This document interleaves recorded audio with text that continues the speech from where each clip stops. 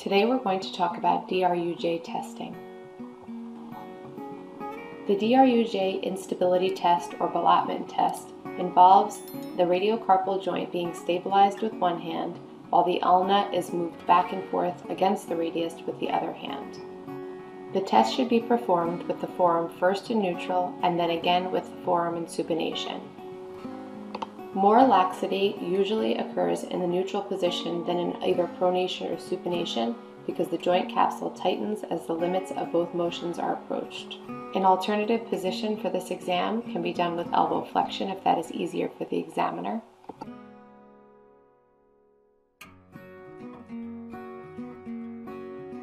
The test should also be repeated with the contralateral side to compare the results.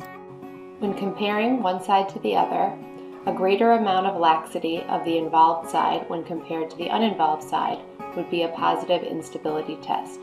Also, a reciprocation of pain symptoms is an indication of a positive test.